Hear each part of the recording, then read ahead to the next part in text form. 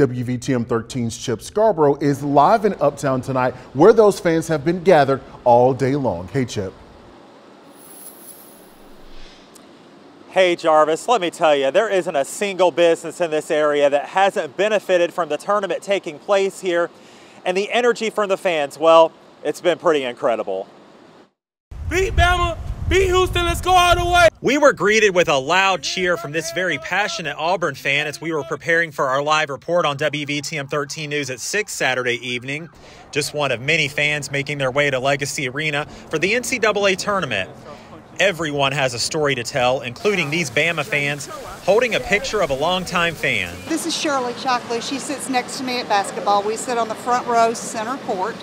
Shirley has been going to basketball games for over 40 years. Shirley Chalkley, now in her late 80s, wasn't able to make the trip from Tuscaloosa to Birmingham this weekend, but she was certainly there in spirit. We decided to bring Flat Shirley. Elaine Thomaston made the two hour drive from Auburn she says this weekend has been better than she ever envisioned. This was actually a Christmas gift for my son, and at the time the tickets were bought, we had no idea Auburn and Alabama were both going to be in it. So uh, to be able to come down and watch all three rounds of Auburn and Alabama play has, has really been pretty exciting. In addition to the basketball games, people are also enjoying the restaurants and other businesses nearby. We might head over to Topgolf if time permits, but yeah, we're we'll, we'll stimulate the local economy, that's for sure. Win or lose, fans are not losing their team spirit. Undefeated in the postseason, want to know, happy birthday, Bruce Pearl. We're in it for the long haul. She's yeah. going to Houston.